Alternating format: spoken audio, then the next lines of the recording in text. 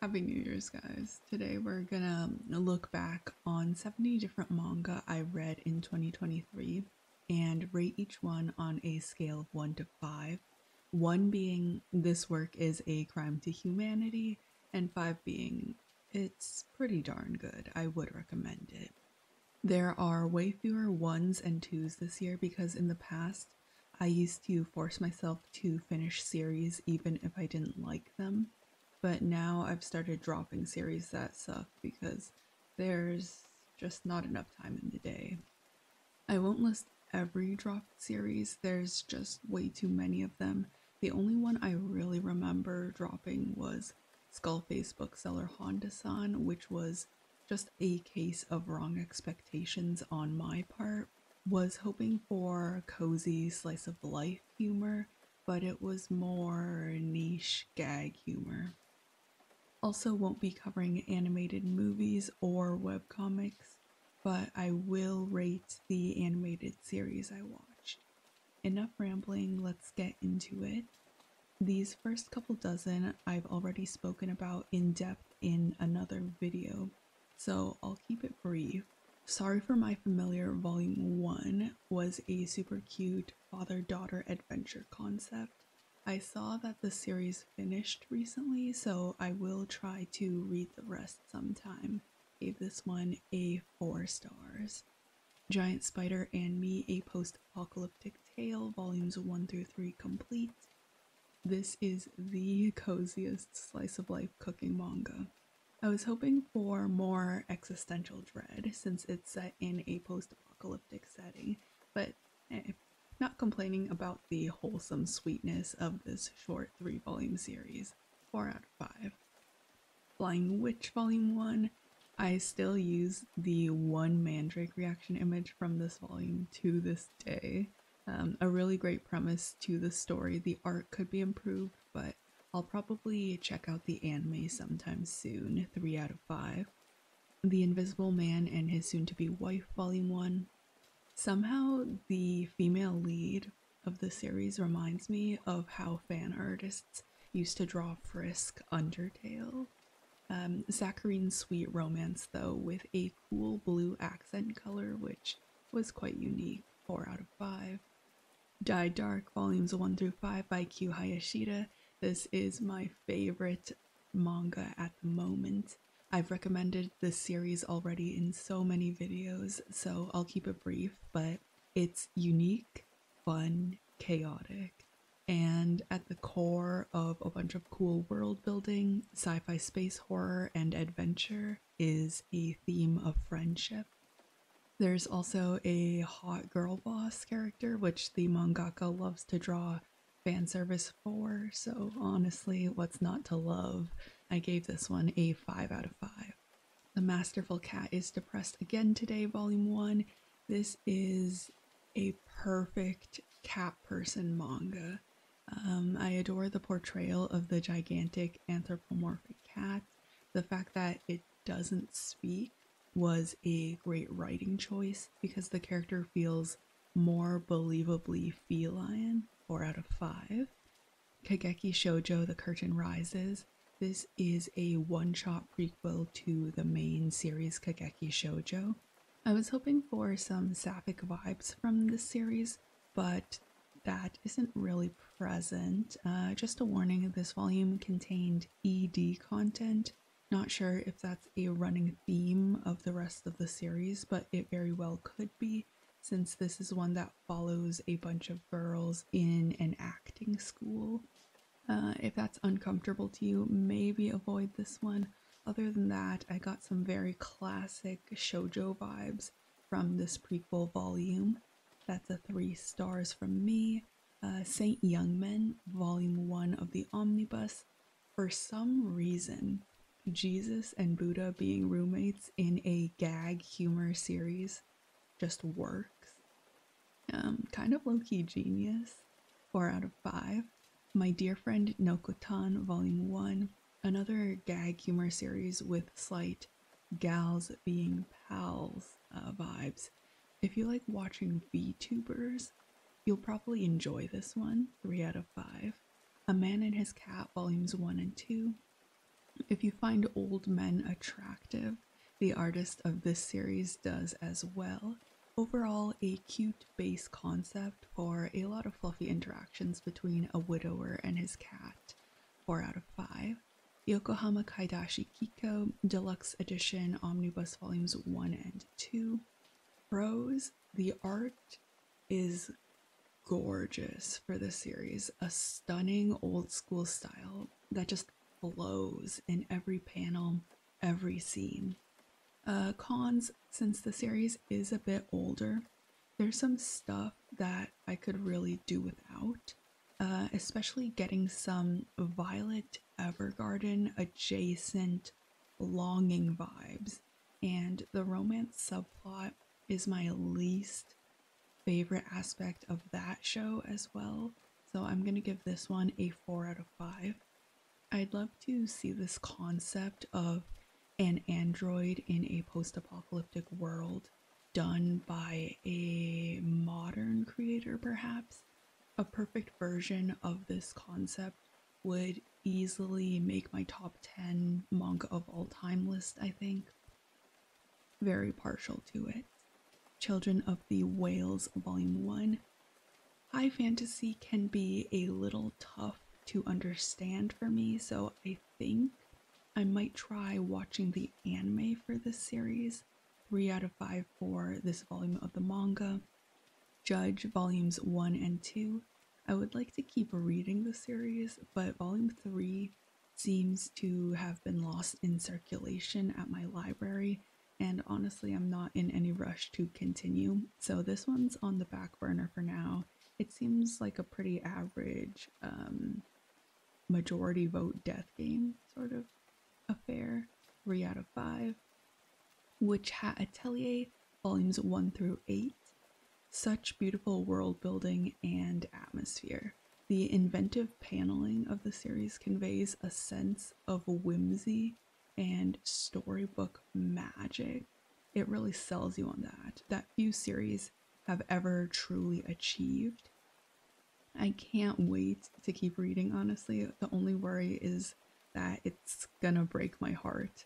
The tone's gotten a bit darker by the end of volume 8, but if the series goes on to discuss the complex issues it's brought up well, it'll be an easy 5 in a few more volumes.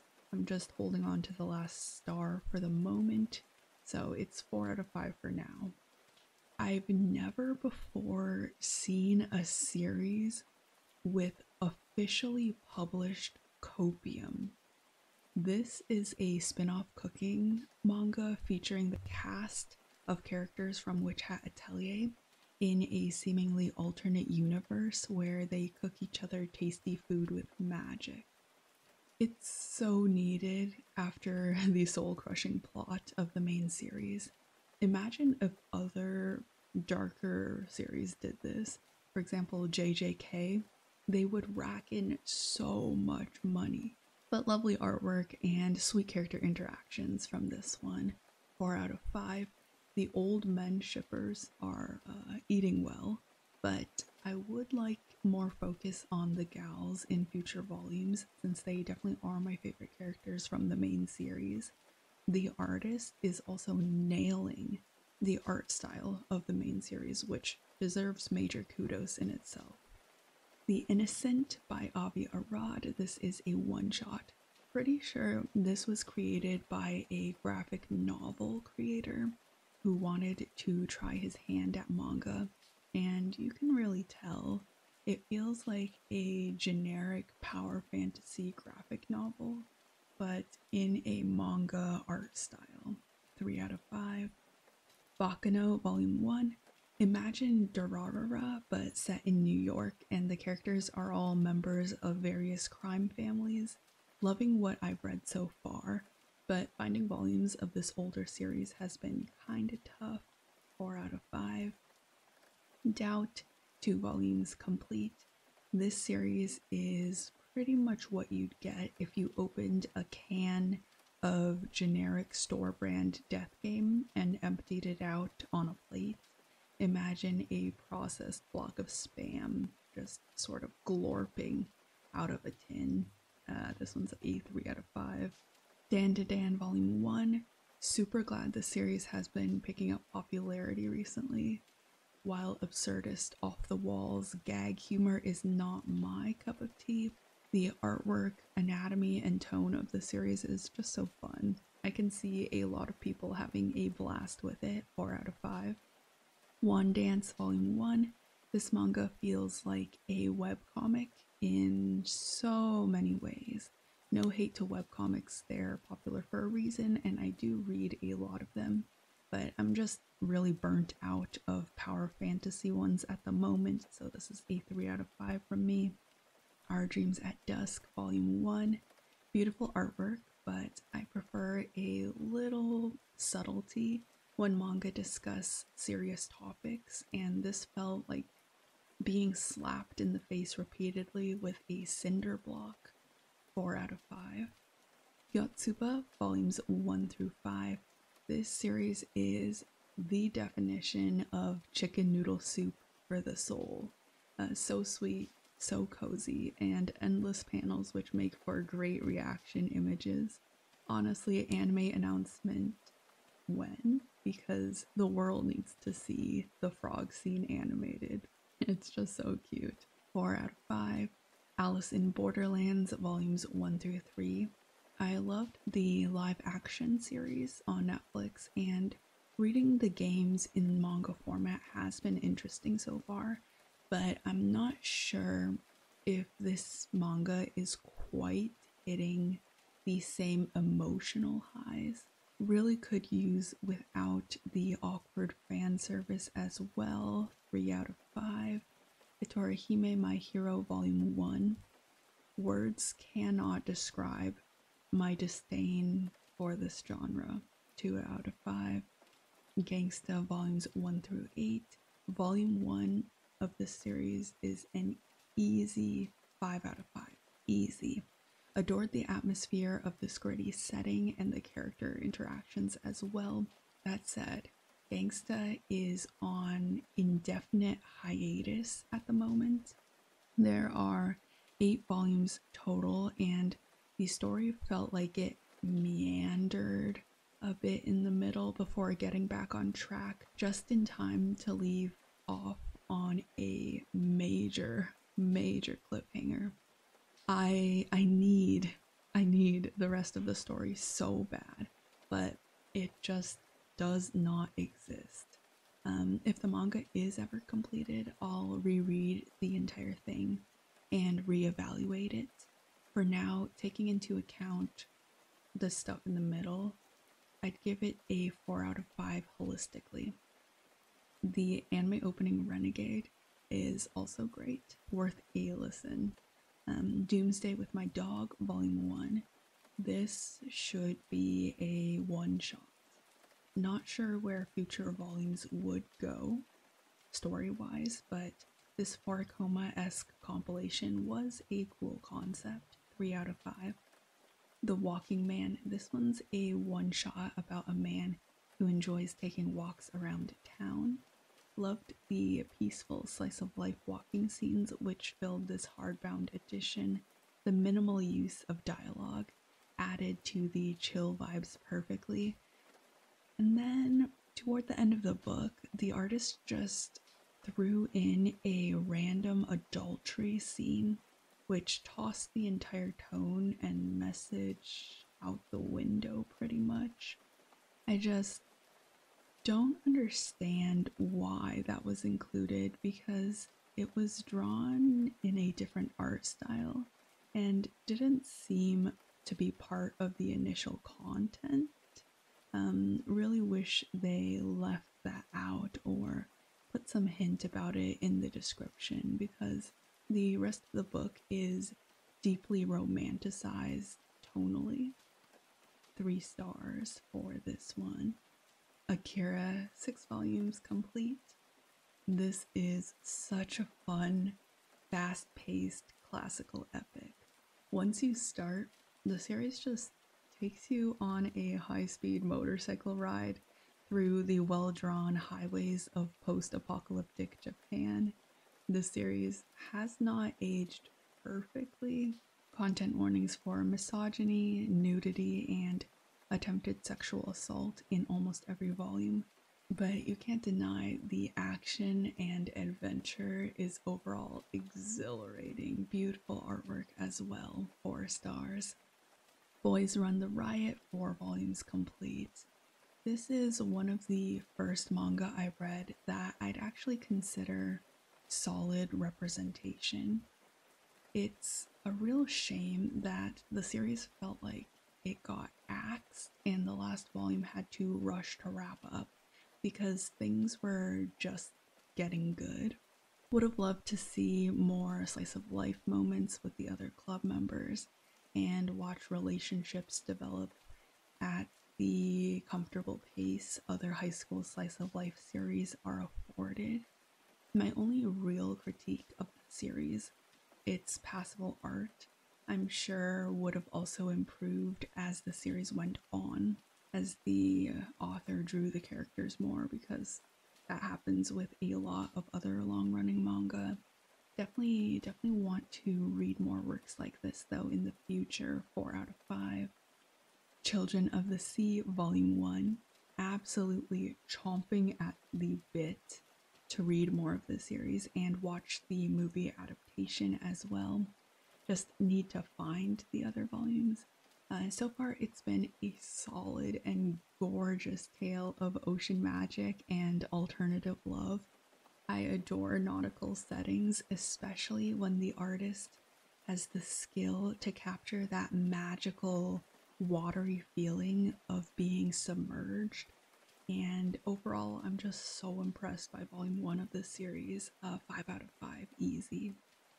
Now, a brief interlude to speedrun the anime. We'll start off with Pokemon The Indigo League. 52 episodes, I think, out of 80. Whatever streaming service I watched it on didn't have the complete season, so I just watched everything that was available on there, and honestly, that was enough to get a little a little taste of nostalgia. Pokemon is a show that has deeply impacted so many people's lives, and I have a soft spot for nostalgic series. Four out of five. I actually hope to reread the Pokemon Adventures manga series this year, at least the first two box sets, which cover the first two generations of the games. Next up is High Rise Invasion, one season, 12 episodes.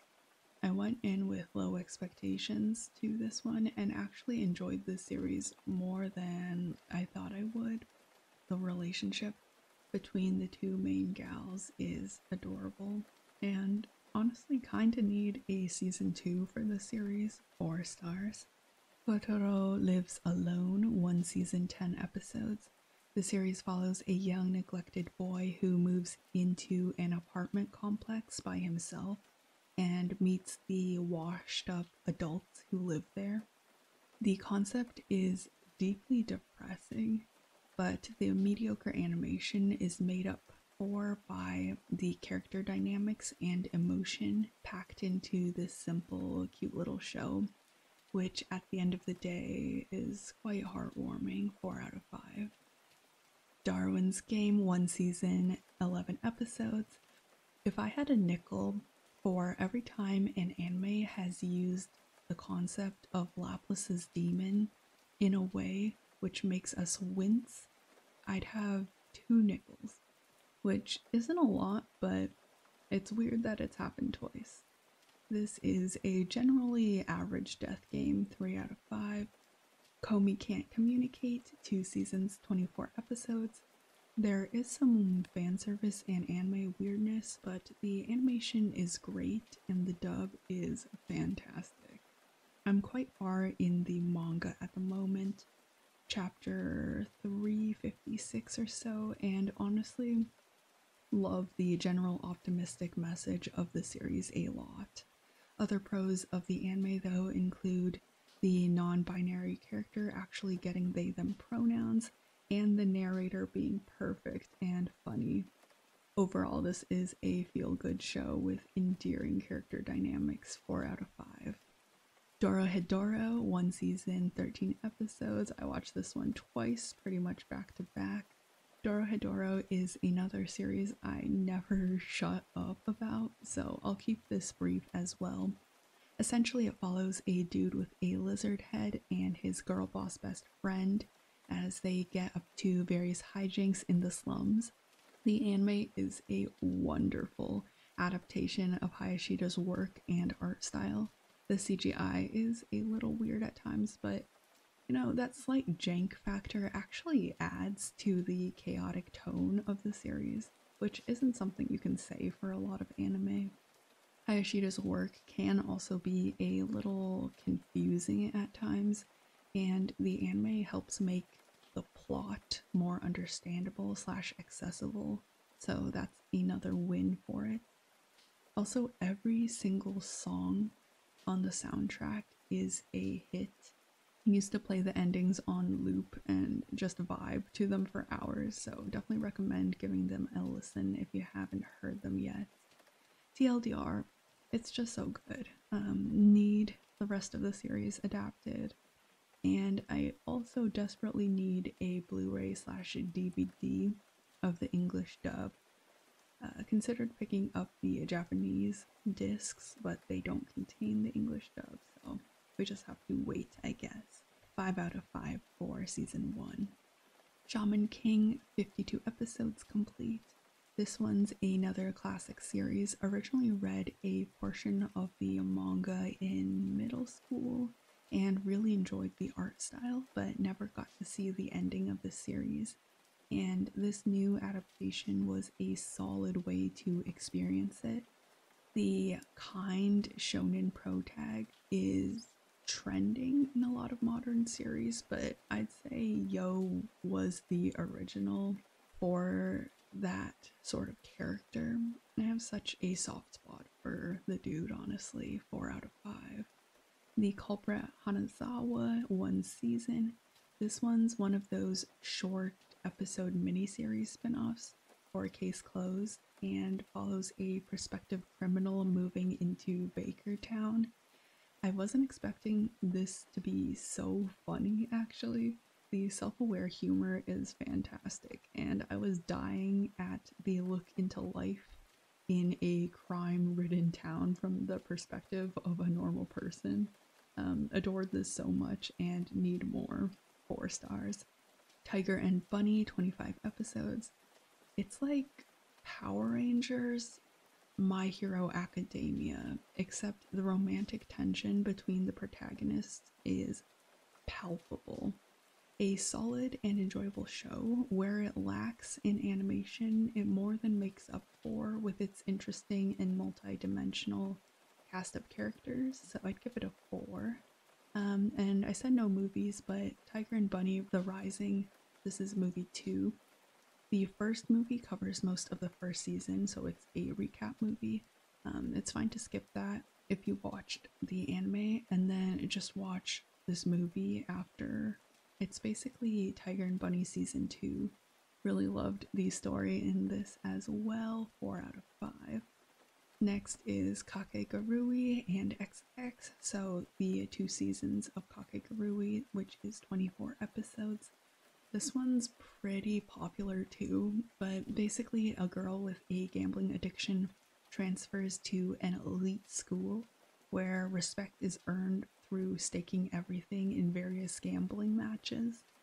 The anime adaptation is a fun thriller series I'd best describe as a bag of potato chips.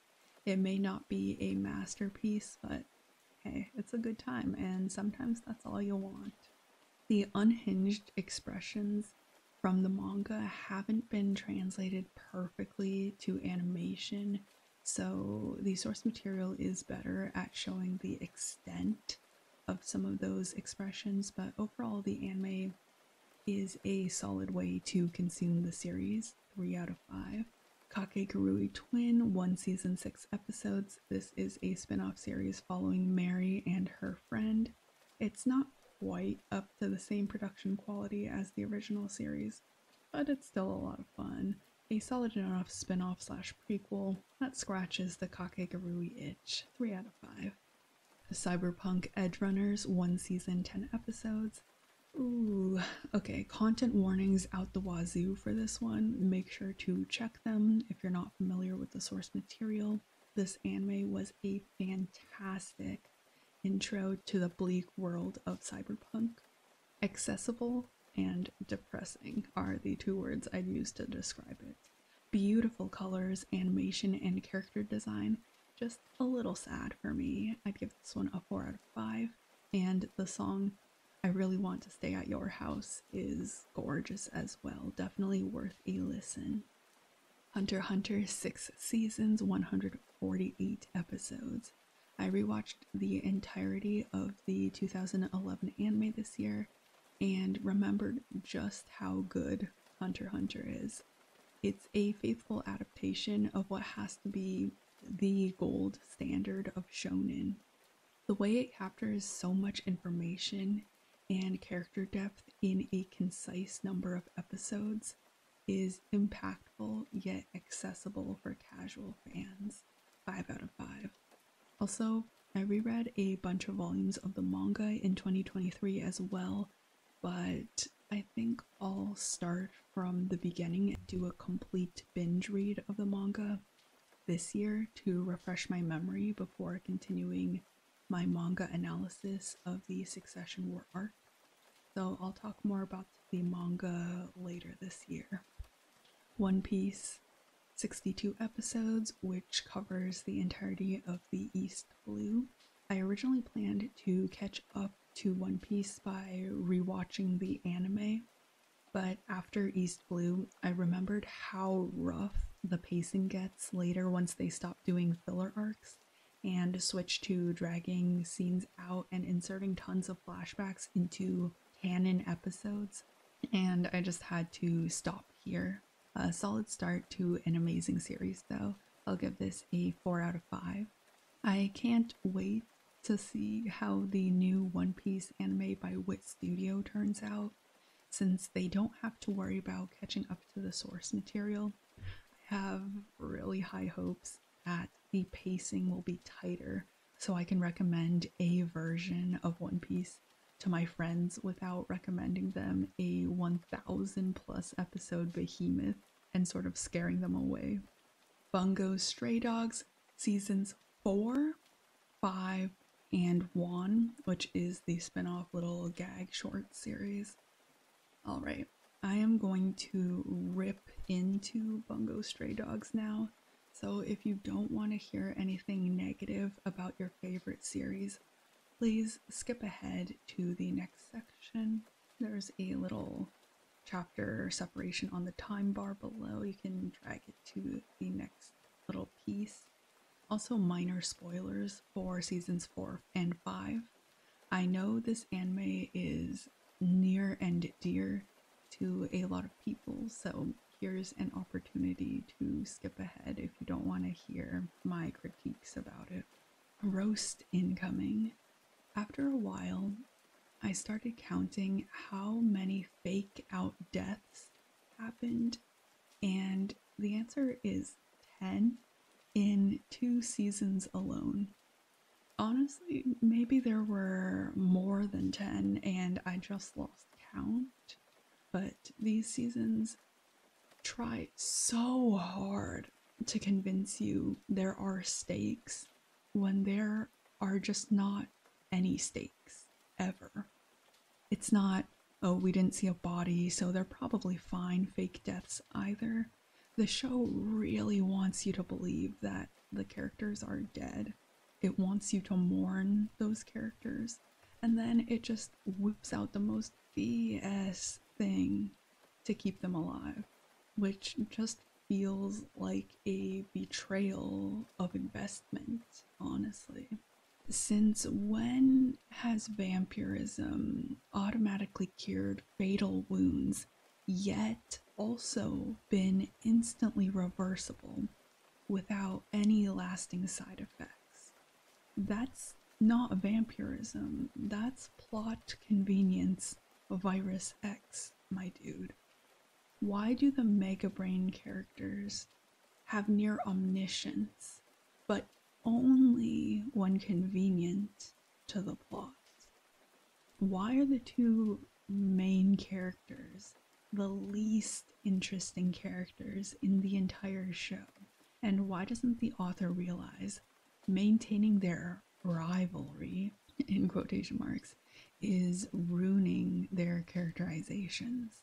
There are so many specific moments which felt like the script wasn't even passed by a single beta reader for editing before getting approved. It's killing me that I can't list every single writing choice I found awful and tell you why because spoilers. But there is a mental list uh, up here in the cranium.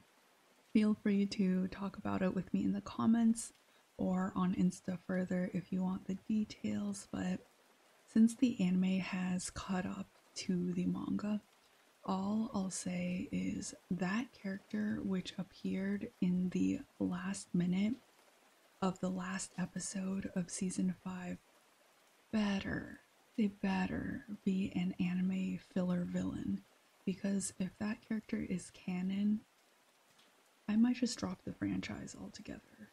Seasons 4 and 5 of Bungo Stray Dogs were so disappointing. They had me reevaluating my opinion on the entire show, which up until this point I had absolutely adored. They really had me thinking was I just blinded by fan hype, or was this show always like this? After reflecting, there, there are still good points to it. I'd just say they seriously need to improve the writing of the series because the premise has a lot of potential.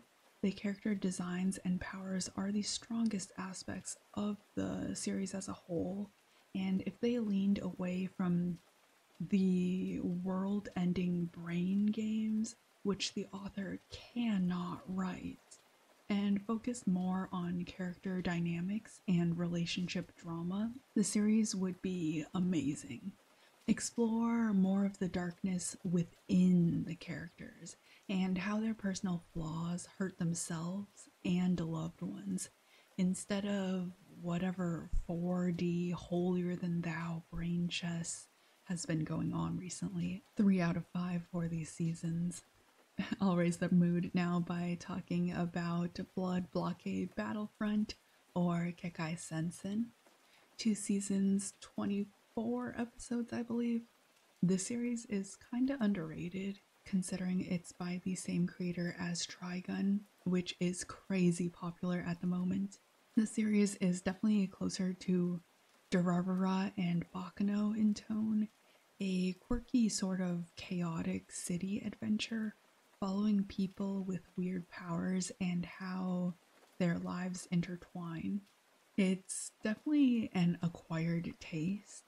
If you don't like quirky, you will not like this. If you do like quirky, this anime is a hidden gem, and I definitely recommend giving it a go. Uh, it's a 5 out of 5 in my books. Golden Kamui, four seasons, 49 episodes, as well as chapters 244 through 314 uh, in the manga. Speaking of underrated, I was caught off guard by how amazing this series is. It is so good. Binged all of the seasons and jumped to read the ending in the manga because I needed to know what happened so bad. Um, absolutely worth it. The final season of the anime is coming out in 2024, so this year. And once the anime and dub is complete, I'll be shoving it down everyone's throats with a full detailed recommendation because just wow. This this is peak seinen, five stars. Akata Tonkatsu Ramen's one season, 12 episodes. If I had a nickel for every time an anime featured a side plot where dysfunctional killers form a ragtag team to play amateur baseball for fun, I'd have two nickels. Bonus points for the respectful depiction of a character who doesn't conform to gender norms as well. This series is about a bunch of assassins uh, killing people, but it's so cute and chill and relaxing. Four stars. Spy Family 1 season, 25 episodes. I won't lie, the anime is a little much at times, especially with the dub voice acting, but it's still cute. 4 out of 5.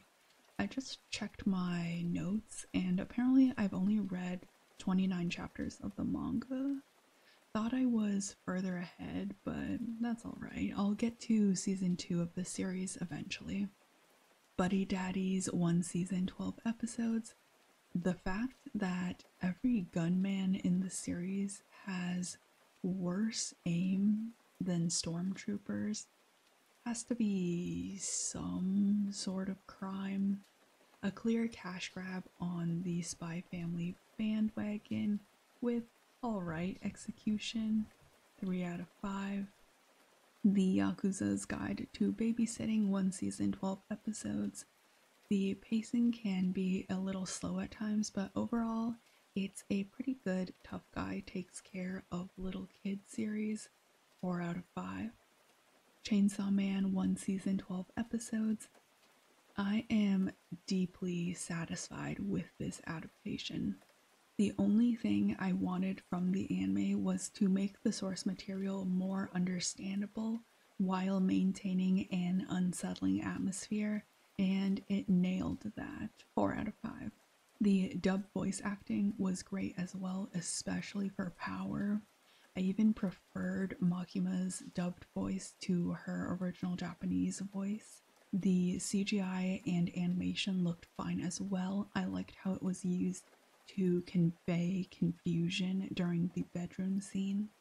Sometimes the character faces don't quite capture emotions, though, which may or may not be a con depending on how you view it, as it does help maintain some aspect of realism. Potentially, they limited the exaggerated expressions to indicate a freeze response to traumatic events. I'm interested to see how the next seasons go, as this season covered a lot of setup. The Rise movie, which is going to be essentially season two, is going to cover some of my favorite scenes from the manga, so I hope it's good.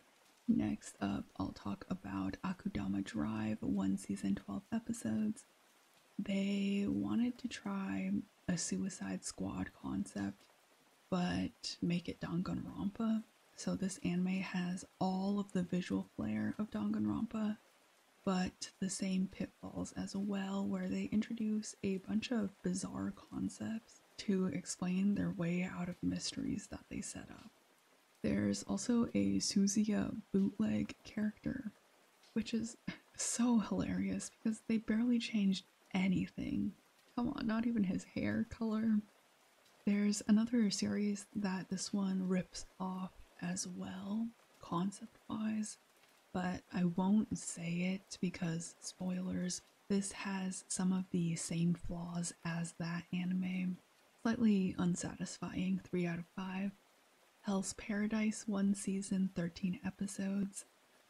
The anime definitely made events from the manga more understandable, but I don't know if that was a good thing for this series in particular. The horror aspect of Hell's Paradise was something I was really looking forward to because it's part of what makes this series unique.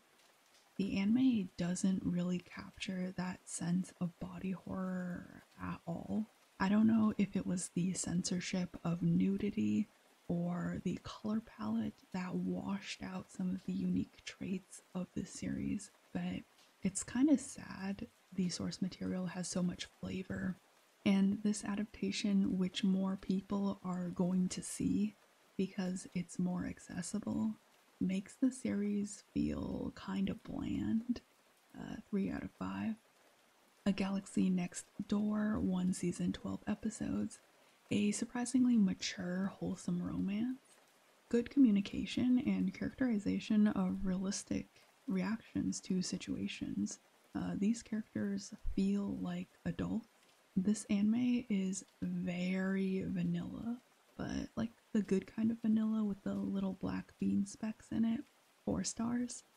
Kamisama Kiss, two seasons, 25 episodes, a classic fantasy romance. Adored the series as a kid and still enjoy it, just uh, not as much. Love the fantasy elements and narrator, just no longer quite feeling the chemistry between the main characters. It's not non existent, it's just not as strong as it could be. Three stars. The opening and ending for season one of the anime, though, are iconic to this day. Absolute classics. Love After World Domination, one season, 12 episodes. A fun, trashy Power Rangers, silly rom com, adorable main gal. I just wish the characters were in college instead of high school. Four stars. Zom 100, one season, nine episodes. A fun and humorous zombie adventure. I love the pairing of horror and comedy, which the series does amazingly, especially since it's not only zombie horror, but also oppressed by the system Weiji horror. Four stars. Uh, I can't wait to finish the series when the season is complete and potentially bump up the rating. Ice Guy and Cool Female Coworker, one season, 12 episodes. This is a super slow paced office romance. It is so slow, it feels like paint is drying at times, but that can be relaxing when all you want to do is chill, so it's not necessarily a con. The anime does do this weird eye movement animation thing, which I get what they were going for, but it happened so much that it kind of made me feel dizzy. Eventually, I had to start looking away from the screen when the close up shot started, and I think that might be a con for me, so I'll give this a 3 out of 5. Monster, the anime, I watched 15 episodes of this. The fact that they only ever dubbed around 15 episodes of this anime is criminal. The series is clearly a masterpiece classic, and even the older animation adds to that atmosphere. As I simply do not have the time to watch a 74 or so episode series subbed, I'll be switching to the manga and rereading the entire thing from the beginning. Overall, an amazing start to such a cool mystery, though. I'm I'm hooked. I'm hooked five stars for what I've seen so far. There are a couple other 2023 seasonal anime I'm still in the process of watching, so I'll review them in full next year. Shows like JJK Season 2, 100 Girlfriends, and Frieren, so look forward to that. Alright, back to the manga. Hard Boiled Stories from the Cat Bar, Volume 1. Not actually sure. This possibly could be a one shot, but it felt weird as if a BL author wanted to write a BL story but didn't actually want to commit. Um, not really a fan, 2 out of 5. Voices of a Distant Star. This is a one shot, a chilling concept which captures the lonely beauty of vast space. There is an animated version of this, but it's a little old, and I would honestly die for a modern remake of it since space horror is something I love. This has a lot of potential to become a beautifully animated film, four stars. Parasite Volumes 1 through 8 complete. This series is supposed to be horror, but honestly, I just had a good time reading the goofy antics of the MC's hand parasite, which occasionally transforms into a dick to tease him. More we need we need more horror comedy series, please. It's such a good pairing when it's done well. The series is a 5 out of 5. Also, shout out to a literal flesh parasite being one of my favorite characters of the year. Bless Mickey. Mushishi Volume 1. This one's another classic where a man travels across Japan helping people with their mushishi or yokai problems. Interestingly, I've never found volumes past one in any library I've ever been to, which makes the ancient series feel even more mysterious and nostalgic somehow. I love the folklore exploration though. Lovely historical magic, quiet, somber, and whimsical. 5 out of 5. Kakuriyo Bed and Breakfast for Spirits, Volumes 1 through 4. Even though the anime for the series was noticeably low budget and bordering on PowerPoint presentation at times, somehow I still preferred it to this manga. The artwork is very stiff and lifeless, which kind of takes the joy out of a fantasy romance series. Love the bonding through cooking trope though, so I hope the art gets better. I will keep reading it. 3 out of 5. Boy Meets Maria, this one is a one shot, which follows a boy who discovers his love of acting and meets a beautiful actor with gender identity issues. Um, right, so massive trigger warnings for this manga. I don't recommend reading it without checking those yourself. The graphic CSA depicted in this manga is done as respectfully as this genre can do, which is not respectfully enough. Uh, important to note, this is BL, not representation. 3 out of 5. DN Angel Volume 1.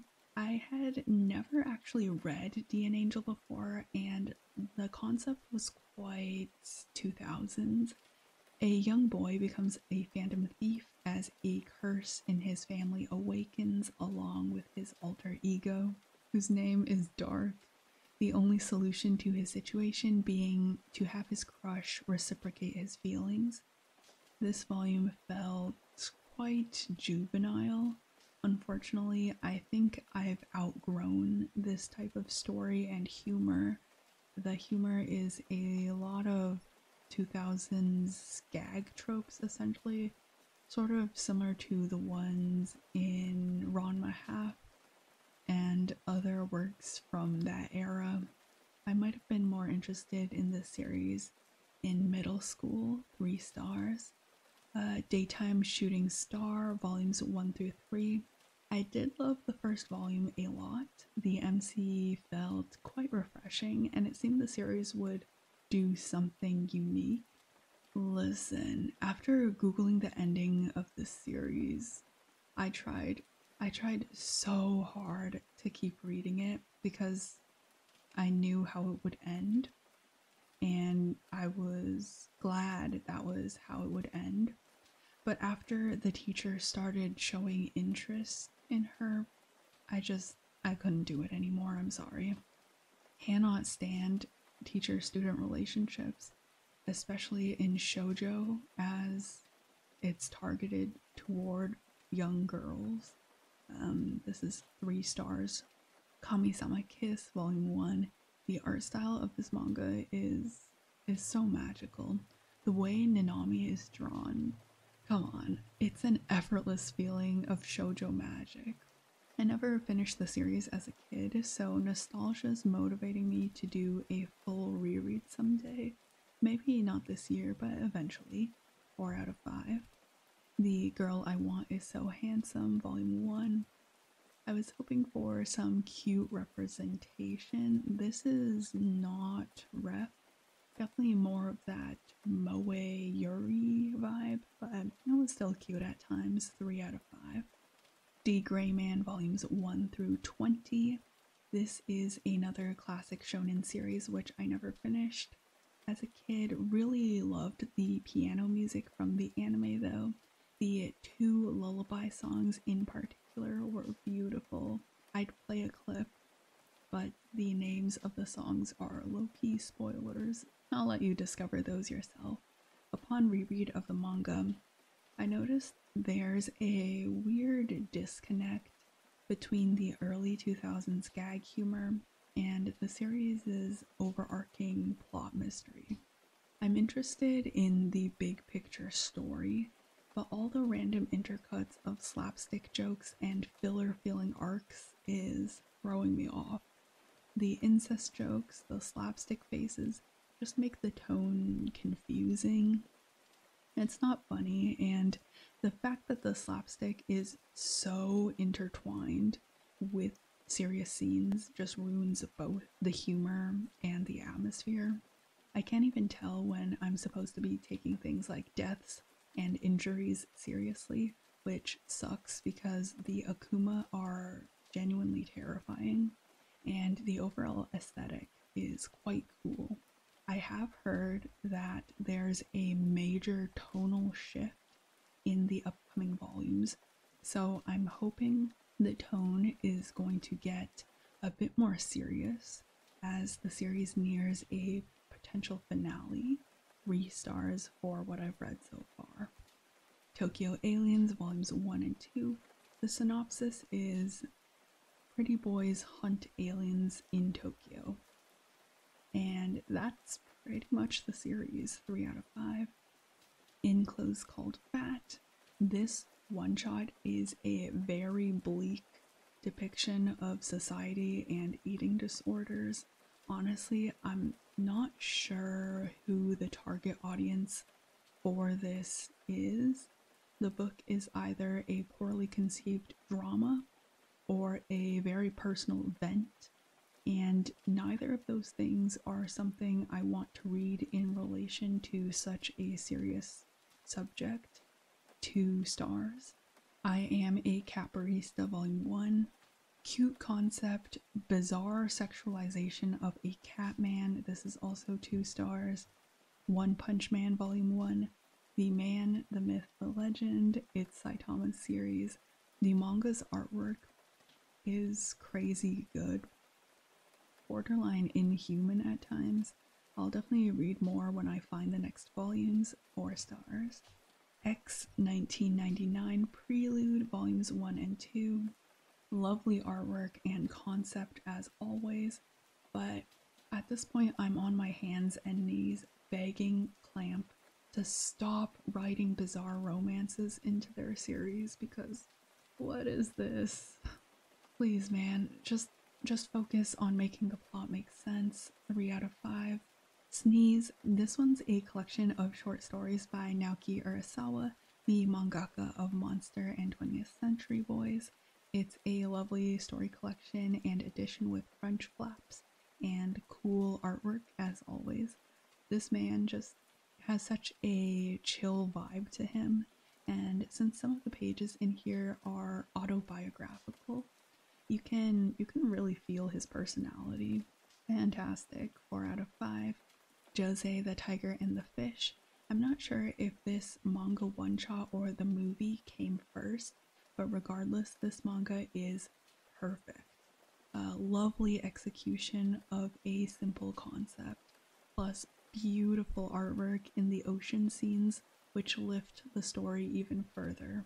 Five stars, five out of five. Go with the Clouds, North by Northwest, Volume 1. This one's not too well known either, I don't think. Essentially, in Iceland, a young man who can speak with objects solves mysteries and travels across the beautiful country. The scenery and artwork in this series is lovely, is magical. I spoke about my one issue with the series more in depth in my collection video, but I just wish the characters were less conventionally attractive. That might seem like a nitpick, but gotta be honest, it's a little immersion breaking at times. I could also do without the fan service because the tone and overarching mystery carry the work perfectly fine without it. 4 out of 5. The Haunted Bookstore Volume 1 this manga is an adaptation of a light novel I read in 2023, and I will not be continuing either format of the story. Lovely artwork and character design, but poor print quality. The pages of this manga feel like cheap newsprint. Not sure what's up with that, honestly, uh, since it's the same price as the publisher's other volumes of manga. The bonus light novel chapters at the end of this volume were also atrocious. Not only was the writing bad, but the author was also keen to make sure readers knew there was an age gap between the main couple for no reason. Like, my dude, that's not a selling point, that's a turn off. Uh, 3 out of 5. Other Side Picnic, Volume 1. Another victim of my post apocalyptic manga search, this one following two girls who explore the other side, a parallel land filled with dangerous monsters. I wish the character designs were different, but I did enjoy the world, story, and horror aspects, so I hope to watch the anime adaptation sometime soon. 3 out of 5. Tropic of the Sea. This one's a one shot by Satoshi Kon. A young boy tries to protect the mermaid's egg his family was entrusted with, caring for decades prior amidst a modern age of corporate greed and commercialization. Lovely artwork and a somber but important message, 4 out of 5. In this corner of the world, this one is a one shot, a historical story set during World War II Japan with an important anti war messaging, which we unfortunately seem to need in every era. This book contained one of my biggest fears. No spoilers, but that one chapter in the latter half really messed me up. Uh, this is deeply sad, yet very humanizing, very important. Uh, four stars. Sorry, my voice is low key giving out a little bit. Trigun Volume 1. The art style of the series is a bit dated, but Trigun is a very cool and iconic manga. I won't lie, the manga intimidates me a little bit since it gets quite chaotic later but I do plan on watching both anime adaptations of the series, four stars. Blood Lad Volume 1. The main chick's shirt physics were so distracting. Listen, I can't not look if her shirt that's vacuum suctioned to two bowls on her chest is the most shaded detail of every panel she's in could have done without the fan service, but the plot was generic, edgy shonen stuff, so maybe that was the only thing the series had going for it during publication. Three stars. Kaiju number 8, volumes 1 through 7. Fantastic classic shonen feel. It has lovable characters and an older protagonist as well. Kafka has old man energy, and we love him for it. The pacing of the series is a little quicker than I expected, but the fact that I don't want the series to end probably speaks to how much I'm loving it. 5 out of 5. The God's Lie. This is one of those one shots that explores a little dramatic story idea the author thought of, and it executes that idea pretty well. 3 out of 5. Don't Call It Mystery, two omnibuses which cover the first four volumes of the series. The atmosphere of the series is so uniquely relaxing. Reading it is like a lullaby. Listen, I'm not following any of the stuff he's saying, and I could not care less about the meanings of gemstones and star signs, but at this point, the main character is my son, and I listen to him talk for hours, and talk for hours he does. This series is 100% an acquired taste, but I've really been enjoying it. 4 out of 5. Firefly Marriage chapters 1 through 15. This one's a fun romance series with imperfect main characters and solid art a sadistic at times girl and a yandere guy, essentially. I'd give this a 4 out of 5. If this series has not been licensed in English yet, I can definitely see it getting picked up soon. because a lot of manga tubers have been really loving it, and the art is quite good. Magus of the Library, I believe it's pronounced, volumes 1 through 3. This series is so underrated. It's so underrated, it had me repeatedly checking the tags on manga sites to make sure there was no catch to the story.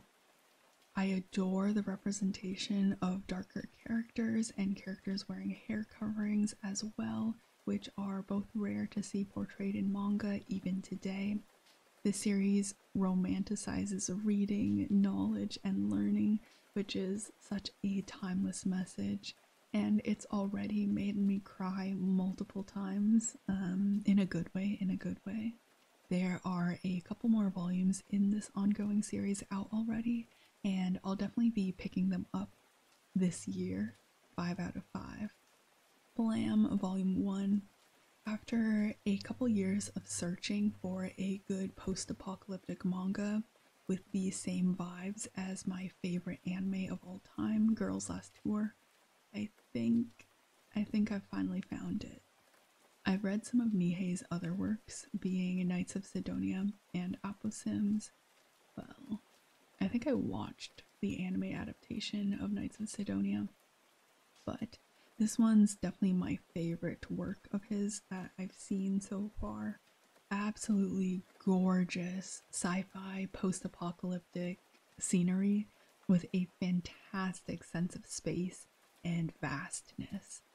Even the monsters convey a surprising amount of horror, which was a nice surprise. I cannot wait to read the rest of the series. It's really shaping up to be something special. 5 out of 5. Insomniacs After School, volumes 1 through 3. Everything about this series is captured with a single word cozy. The premise is cozy, Two insomniacs start an astronomy club so they can nap together. The character design is cozy. Somehow, the artist conveys a lovely sense of squishiness with minimal lines. And the heartwarming, soft relationship between the two is also cozy. They have great chemistry, and even when character flaws come up in the story, it's done in a way which feels soft and human. Five out of five. Absolutely adoring this one. A School Frozen in Time, Volume 1. The premise of this manga is really cool. Essentially, one year a kid died, and now a group of students linked to that kid are trapped in the school where they have to uncover their lost memories about that kid in order to escape. Sounds kind of like the setup for RPG Maker horror game. That said, the art, dialogue, and characterizations are not doing the premise justice. I'd give Volume 1 a 3 out of 5. Since I won't be reading the rest of the series, I'll make a guess right now that the girl from the beginning of Volume 1 is the one who died, since there's an introduction scene where a dude throws a snowball at her and she falls backward into the snow, possibly a parallel to her real death where she fell backwards off the roof. That may be completely wrong, but feel free to tell me in the comments if you want. Um, I really don't mind since I'm definitely dropping this series. Ride Your Wave. This is a decent manga one shot adaptation of the film, I believe, which I think came out first, but it's not doing the water nor romance justice. This manga is the definition of bare minimum serviceable artwork. It's it's just all right. 3 stars. Deadpool Samurai Volume 1. The fourth wall breaking humor was funny at first, but then they just kept going. I think I would have enjoyed it a bit more if I was 10 years younger. Three stars. Look Back by Fujimoto, a lovely one shot.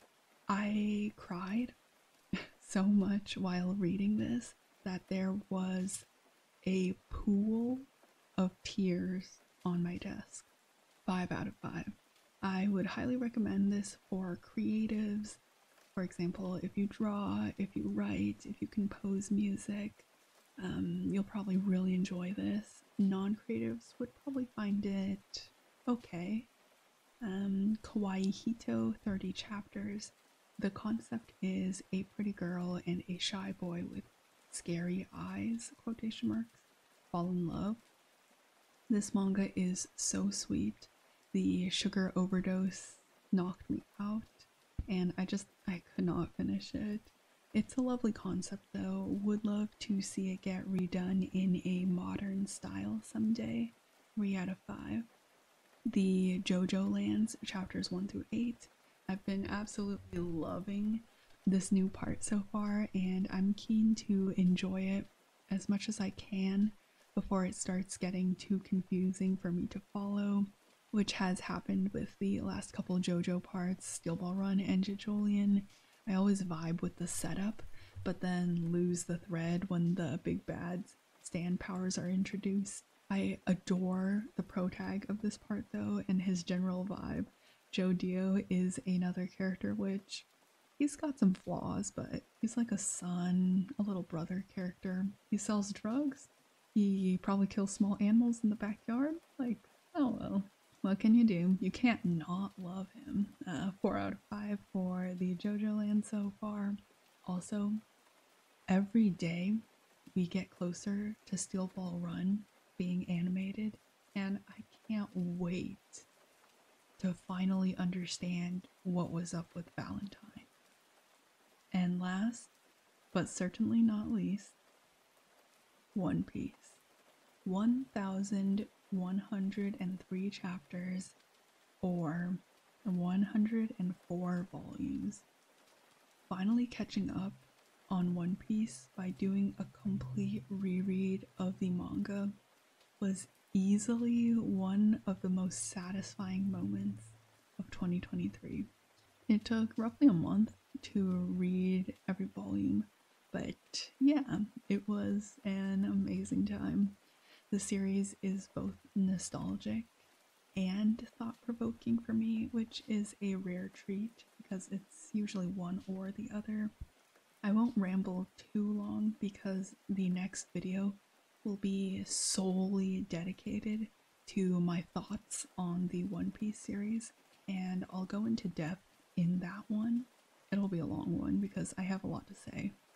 But for now, being able to read weekly is an exhilarating feeling since so much of the joy of One Piece comes from discussing it with friends and fellow fans and seeing what the community is up to, what the general consensus is at the time, and reading the essay length theories on Reddit.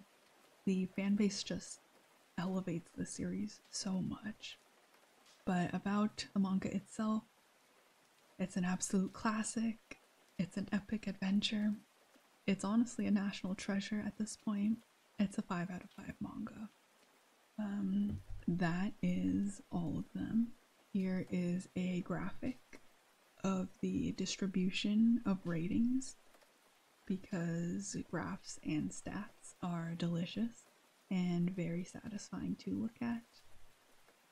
And here is every five star manga I read in 2023 and also the five star animes.